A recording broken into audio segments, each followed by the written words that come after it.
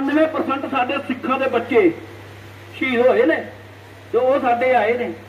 ਅਸੀਂ ਸ਼ਹੀਦਾਂ ਦੇ ਬਾਪ ਆ, ਸ਼ਹੀਦਾਂ ਦੇ ਭਰਾ ਆ ਸ਼ਹੀਦਾਂ ਦੀਆਂ ਭੈਣਾਂ ਸਾਡੀਆਂ ਦੇ ਮਗਰ ਤੁਰੇ ਫਿਰਦੇ ਇਹ ਸਾਡੇ ਕੋਲ ਹੁਣ ਚੱਲ ਕੇ। ਅੱਜ ਤੁਸੀਂ ਇਹ ਵੇਖੋ, ਮੈਂ ਸਾਰੇ ਅਫਸਰਾਂ ਨੂੰ ਮਾੜਾ ਨਹੀਂ ਕਹਿੰਦਾ, ਮੈਂ ਕਿ ਸਾਰੇ ਅਫਸਰਾਂ ਮੰਤਰੀਆਂ ਨੂੰ ਮਾੜਾ ਨਹੀਂ ਕਹਿੰਦਾ। ਹਾਂ, ਜਿਹੜੇ ਸਾਡੇ ਨਾਲ ਮਾੜਾ ਕਈ ਕਰਦੇ ਤੇ ਸੀ ਉਹਨਾਂ ਨੇ ਮਾੜੀ ਉਹਨਾਂ ਨੂੰ ਟਾਈਮ ਨਾਲ ਛੁੱਟੀ ਨਹੀਂ ਮਿਲਦੀ, ਟਾਈਮ ਨਾਲ ਉਹਨਾਂ ਨੂੰ ਕੋਈ ਮਤਲਬ ਕਿ ਸਾਰੇ ਕੋਈ ਬੈਨੀਫਿਟ ਨਹੀਂ ਮਿਲਦੇ ਰੈਸਟ ਨਹੀਂ ਮਿਲਦੀ। ਇਹ ਆ ਜਿਹੜੀ ਹੁਣ 6000 7-800 ਦੇ ਲੱਗੇ ਡਿਸਾਈਡ ਕੇਸ ਹੋਇਆ, ਉਹ ਕਿੰਨਾ ਦਾ ਹੋਇਆ? ਸਭ ਤੋਂ ਜ਼ਿਆਦਾ ਸਾਡੇ ਪੰਜਾਬ ਪੰਜਾਬ ਦਾ ਬੱਚਾ ਵਾ ਫੌਜ ਦੇ ਵਿੱਚ। ਤੇ ਪੰਜਾਬ ਦੇ ਵਿੱਚ ਇਹ ਵੀ ਤੁਹਾਨੂੰ ਪਤਾ ਹੋਣਾ ਚਾਹੀਦਾ ਸਭ ਤੋਂ ਜ਼ਿਆਦਾ ਬੱਚੇ ਫੌਜ ਦੇ ਵਿੱਚ ਸਾਡੇ ਗੁਰਦਾਸਪੁਰੀਆਂ ਤੇ ਅੰਮ੍ਰਿਤਸਰੀਆਂ ਦੇ।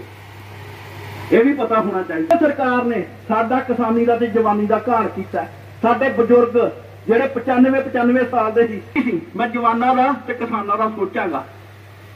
ਕੁਝ ਸਾਡੇ ਪਿੱਠੂ ਬਾਦਲ ਸਰਕਾਰ ਦੇ ਮਗਰ ਬਾਦਲ ਵੀ ਲੱਗੇ ਮਗਰ ਕਹਿੰਦੇ ਬਾਦਲ ਸਾਹਿਬ ਨੇ ਕਹਿਣਾ ਕਰਨਾ ਹਾਂ ਹੁਣ ਕਿਸਾਨਾਂ ਦਾ ਸੋਚ ਭਰਤੀ ਲੈਂਦੀ ਉਹ ਨਾ ਕਹਿੰਦੀ ਗੱਲ ਮੰਨਦੇ ਨੇ ਨਾ ਕਹਿੰਦੀ ਸੁਣਦੇ। ਤੇ ਨਾ ਖੱਪ ਗਿਆ ਨਾ ਜੇ ਮੋਦੀ ਸਰਕਾਰ ਦੀ ਕਾਰਵਾਈ ਰਹੀ ਤੇ ਇਹੀ ਕਿਸੇ ਨੇ ਵੀ ਨਾ ਕੋਈ ਸੀਐਚ ਨਾ ਕੋਈ ਕੰਟੀਨ ਨਾ ਕੋਈ ਸਾਡੀ ਪੈਨਸ਼ਨ ਨਾ ਕੋਈ ਸੁਣ ਡਿਆ ਹਾਂ ਪੇਪਰ ਦੇ ਉੱਤੇ ਖਬਰ ਆਉਣ ਡਈ ਦੀ ਸੀ। ਕੋਈ ਮਹਾਰ ਰਜਮੈਂਟਾਂ ਤੇ ਸਿੱਖ ਰਜਮੈਂਟ ਨੂੰ ਤੇ ਮਤਲਬ ਕਿ ਖਤਮ ਹੀ ਕਰਨਾ ਚਾਹੁੰਦਾ। ਤੈਨ ਕੇ ਏਕਤਾ ਜੈ ਜਵਾਨ। ਜੈ ਜਵਾਨ। ਸਾਡਾ ਹੱਕ। ਵਾਹਿਗੁਰੂ ਜੀ ਕਾ ਖਾਲਸਾ ਵਾਹਿਗੁਰੂ ਜੀ ਕੀ ਫਤਿਹ। ਇਹ ਨਾਰੇ ਆਪਾਂ ਦੋ ਤਿੰਨ ਜਿਹੜੇ ਲਾਉਣੇ ਆ ਪੂਰੇ ਚੜ੍ਹਦੀ ਕਲਾ ਦੇ ਵਿੱਚ ਤੇ ਬਾਹਾਂ ਫੜੀਆਂ ਕਰਕੇ ਤਾਂ ਕਿ ਵੀਰ ਆਪਣੇ ਜਿਹੜੇ ਪ੍ਰੈਸ ਨੋਟ ਨੇ ਜਿਨ੍ਹਾਂ ਨੇ ਆਪਣੀ ਖਬਰ ਲਾਉਣੀ ਆ। ਕੌਂਸਲ ਸਾਹਿਬ ਇੱਕ ਨਾਲ ਇੱਥੇ ਬੈਠੇ ਨੇ ਆਪਣੇ ਸੁਬਦਰ ਮੇਜਰ ਬਲਵਿੰਦਰ ਸਿੰਘ ਘੋਟਾ ਸਾਹਿਬ ਸਾਹਮਣੇ ਬੈਠੇ ਨੇ। ਅਸੀਂ ਚਾਰ ਬੰਦੇ ਸੀ ਉਸ ਟਾਈਮ ਅਸੀਂ ਉਦੋਂ ਤੋਂ ਲੈ ਕੇ ਤੱਕ ਸੰਘਰਸ਼ ਕਰਦੇ ਆ ਰਹੇ ਹਾਂ। ਜੀਐਸਓ ਏਕਤਾ। ਸਾਡੇ ਹੱਕ ਸਾਡੇ ਹੱਕ ਸਾਡੇ ਹੱਕ। ਓਆਰ ਓਪੀ ਲੈ ਕੇ ਰਵਾਂਗੇ। ਔਰ ਓਪੀ ਲੈ ਕੇ ਰਵਾਂਗੇ ਔਰ ਓਪੀ ਲੈ ਕੇ ਰਵਾਂਗੇ ਔਰ ਓਪੀ ਅਗਾ ਨਾਰਾ ਆ, ਸੁੱਤੀ ਸਰਕਾਰ। ਸੁੱਤੀ ਸਰਕਾਰ। ਸੁੱਤੀ ਸਰਕਾਰ। ਮੋਦੀ ਸਰਕਾਰ। ਮੋਦੀ ਸਰਕਾਰ। ਅੱਜ ਮੈਂ ਤੁਹਾਡੇ ਮੀਡੀਅਮ ਰਾਹੀਂ ਪੂਰੇ ਦੇਸ਼ ਨੂੰ ਦੱਸਣਾ ਚਾਹੁੰਦਾ ਕਿ ਸਾਡੇ ਫੈਡਰੇਸ਼ਨ ਆਫ ਵੈਟਰਨ ਐਸੋਸੀਏਸ਼ਨ ਨੇ ਇੱਕ ਸੱਦਾ ਦਿੱਤਾ ਹੈ ਕਿ ਪੂਰੇ ਹਿੰਦੁਸਤਾਨ ਦੇ ਡੀਸੀ ਦਫ਼ਤਰਾਂ ਦੇ ਸਾਹਮਣੇ ਭੁੱਖ ਹੜਤਾਲ ਰੱਖੀ ਜਾਏਗੀ। 4 ਵਜੇ ਤੋਂ ਲੈ ਕੇ 10 ਵਜੇ ਤੱਕ। ਇਹਦਾ ਮਕਸਦ ਇਹੀ ਆ ਕਿ 20 ਫਰਵਰੀ ਤੋਂ ਲੈ ਕੇ ਅੱਜ ਤੱਕ ਸੰਕੇਤਕ ਧਰਨਾ ਜੰਤਰ ਮੰਤਰ ਦੇ ਚੱਲ ਰਿਹਾ ਹੈ। ਅਜੇ ਤੱਕ ਸੈਂਟਰ ਗਵਰਨਮੈਂਟ ਨੇ ਸਾਡੀ ਕੋਈ ਵੀ ਬਾਤ ਨਹੀਂ ਸੁਣੀ।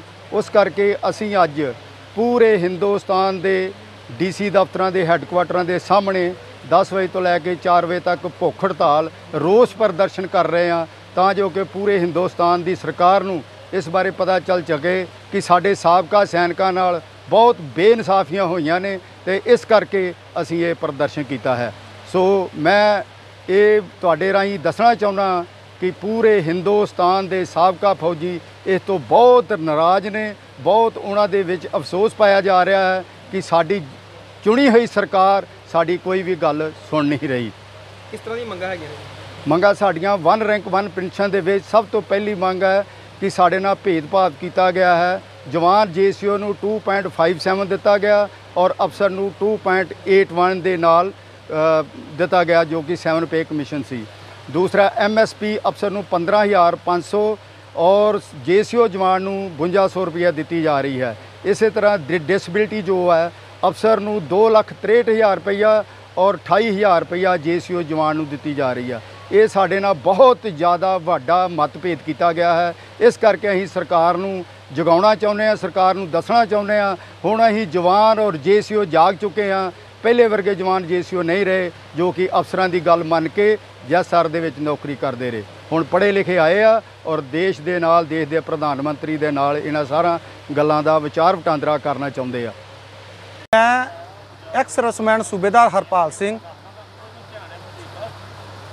federation of veterans association ਵੱਲੋਂ ਜੋ ਸਾਡਾ ਅੱਜ ਇਹ ਇਕੱਠ ਜ਼ਿਲ੍ਹਾ ਗੁਰਦਾਸਪੁਰ ਦੇ ਵਿੱਚ ਸਾਬਕਾ ਸੈਨਿਕਾਂ ਦਾ ਕੀਤਾ ਗਿਆ ਹੈ ਸਾਡਾ ਮੇਨ ਮੁੱਦਾ ਵਨ ਰੰਕ ਵਨ ਪੈਨਸ਼ਨ ਦਾ, ਜੋ ਕਿ ਕਾਫੀ ਲੰਮੇ ਸਮੇਂ ਤੋਂ ਸਰਕਾਰ ਜਿਹੜੀ ਆ, ਇਹਨੂੰ ਠੰਡੇ ਬਸਤੇ ਦੇ ਵਿੱਚ ਪਾ ਕੇ ਬੈਠੀ ਆ ਔਰ ਅਸੀਂ ਐਮਪੀ ਔਰ ਡਿਸਟ੍ਰਿਕਟ ਲੈਵਲ ਦੇ ਸਾਰੇ ਅਧਿਕਾਰੀਆਂ ਨੂੰ ਪਹਿਲਾਂ ਮੰਗ ਪੱਤਰ ਦੇ ਚੁੱਕੇ ਆ, ਜੋ ਕਿ ਸਰਕਾਰ ਨੇ ਕੋਈ ਵੀ ਇਹਦੇ ਵਿੱਚ ਇਸ ਦੇ ਉੱਤੇ ਸਾਨੂੰ ਰਿਸਪਾਂਸ ਨਹੀਂ ਦਿੱਤਾ।